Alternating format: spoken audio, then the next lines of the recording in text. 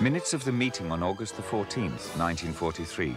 Proposal 6, passed with several changes for submission to the Fuhrer. Immediate and unconditional abolition of all religious denominations after the final victory.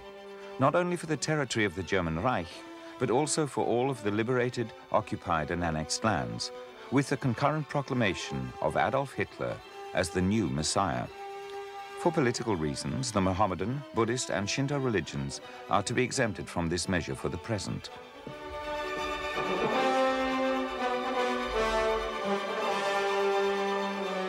This calls for making the Fuhrer appear as something between a savior and a liberator, one sent by God to whom divine honor is due.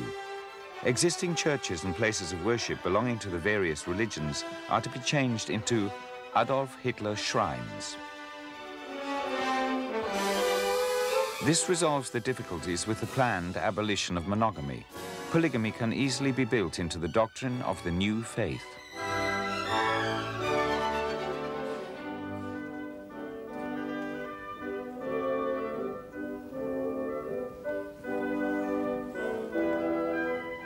The model for this heaven-sent man may well be Lohengrin, the Knight of the Holy Grail, who springs from the Celtic Germanic imagination and already enjoys a certain traditional status. With appropriate propaganda, the Fuhrer's origins would have to be made even more obscure than heretofore, and also his future departure, at once without a trace and in total darkness. Return to the castle of the Holy Grail.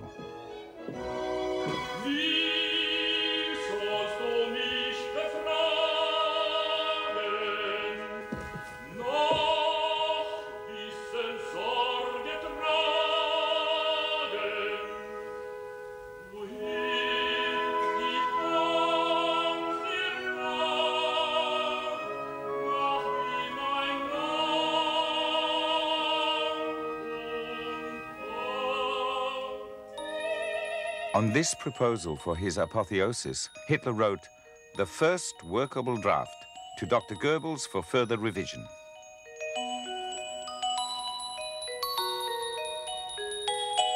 I think part of Hitler's persona, of his self-presentation and the way he was projected to the German people was undoubtedly had messianic traits, that he was the redeemer, the erlöser.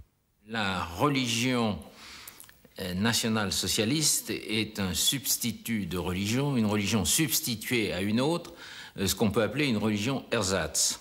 Ja, Hitler hat äh, nicht nur religiöse Elemente übernommen oder eingebaut in das faschistische Ritual, sondern hat das faschistische Ritual ganz deutlich als Staatskirche mit sich als Führer, Sohn, Gott in, da drin aufgebaut, installiert.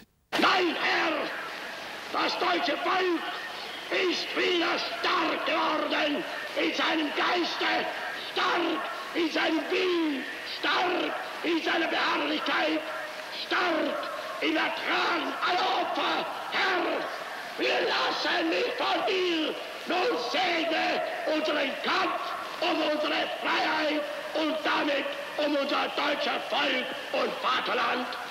Amen.